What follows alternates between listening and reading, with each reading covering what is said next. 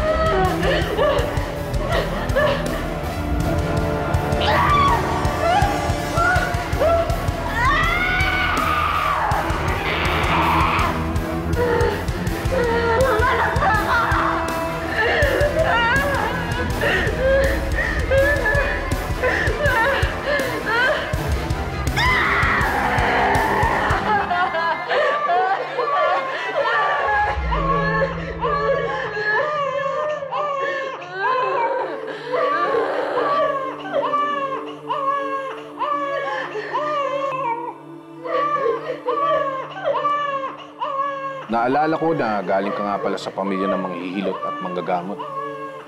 Kaya alam mo kung anong gagawin. Nakapanganak ka kahit walang tulong galing sa akin.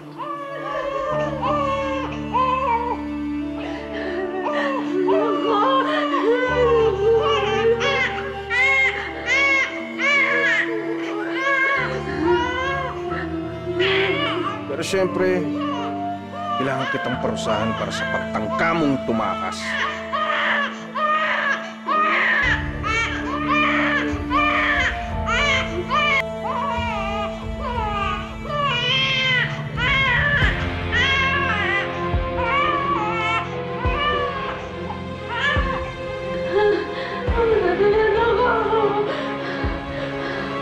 Oh, my God.